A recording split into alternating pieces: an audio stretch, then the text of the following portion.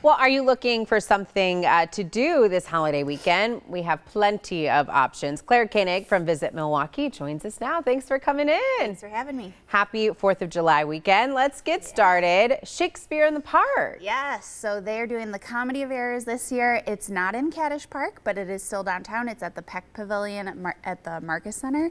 Um, and there are two opportunities to see it. You can go tonight hopefully when it's cooled down a little bit, yeah. or you can go Sunday night, and it should definitely be nice then. All right, so from the stage to the baseball diamond, a historic yes. baseball game's going on this weekend. Yes, so head to Old World, Wisconsin tomorrow afternoon. I think this sounds like such a cool event for the whole family.